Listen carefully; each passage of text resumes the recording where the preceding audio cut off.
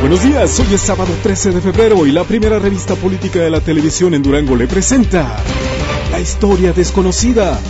La desconocida historia de cómo se armaron las alianzas entre el PRD y el PAN.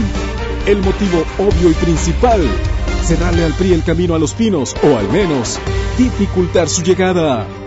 La dictadura de las encuestas. Según María de la Cera, las encuestas dictan ahora los criterios para las decisiones políticas.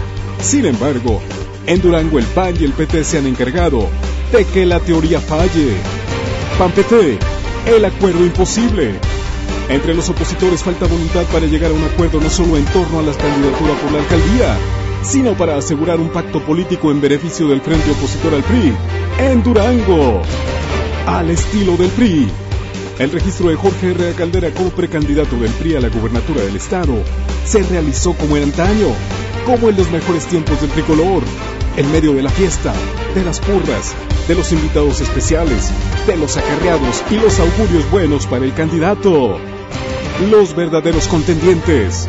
El registro de Jorge Herrera Caldera como precandidato del PRI y la aceptación de Escuro Torres como abanderado de la oposición los hace los verdaderos contendientes, como se había vislumbrado ya desde hace tiempo.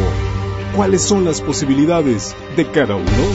Esto y más, quédese con nosotros.